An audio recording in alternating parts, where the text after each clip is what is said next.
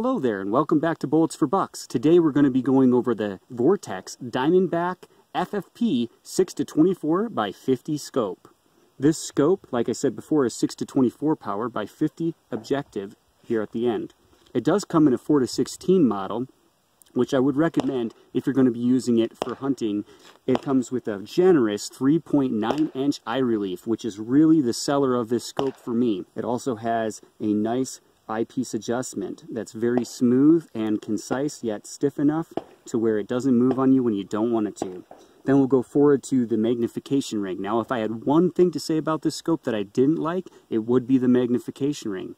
It is fluid and it does work, however it's extremely stiff. In my opinion, stiffer than you need it to be. Also, it's a bit gritty and catches in a couple spots. Overall though, it's not bad and with the use, it's already starting to loosen up. Moving up here, we have the parallax adjustment or side parallax adjustment.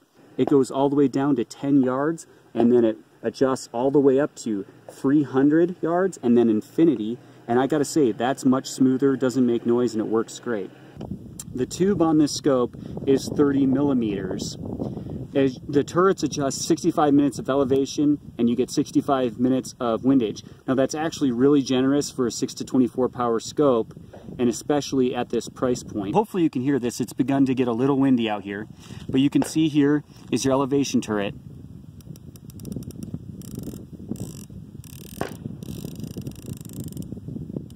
Hopefully you could hear that. Now there's 15 minutes of adjustment in each revolution of the windage turret and of the elevation turret.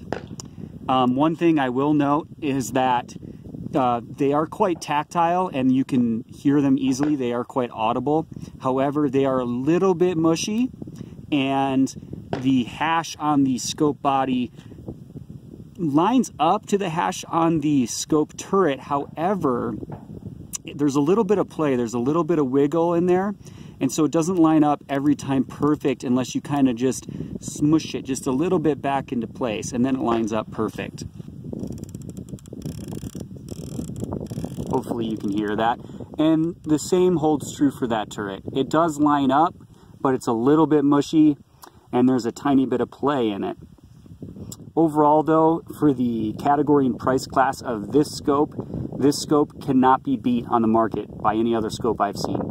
The Athlon Argos um, is probably a similar class scope in a similar price category. However, the turrets are not nearly as good, the glass isn't as good, and so on.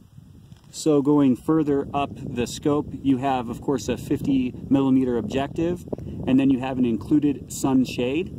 I do have it on, but you, of course, can remove it.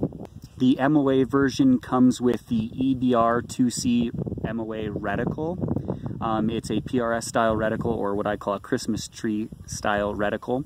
And the mil version, it comes with the EBR2C mil reticle.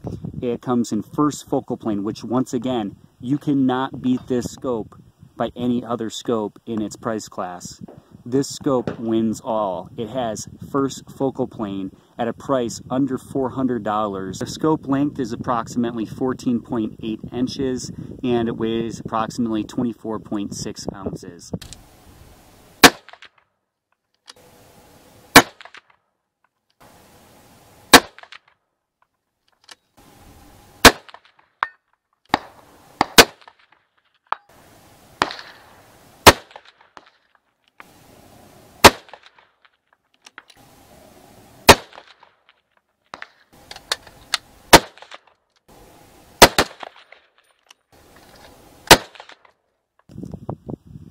So things I really like about this scope, it tracks extremely well. It holds zero.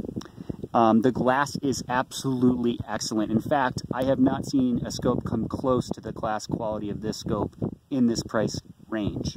Um, this is by far the best entry-level scope I have reviewed for PRS or long range. It's first focal plane and I love the reticle on it. Um, the turrets, like I said, a little bit mushy, but excellent value and excellent for their price class. Um, the magnification knob, a little bit gritty and tight, but it seems to be smoothing out with use. The parallax adjustment works great.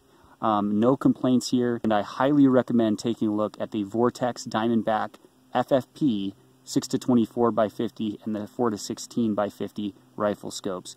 They are excellent. Anyways, go ahead and like and subscribe below, and I look forward to hearing back from you.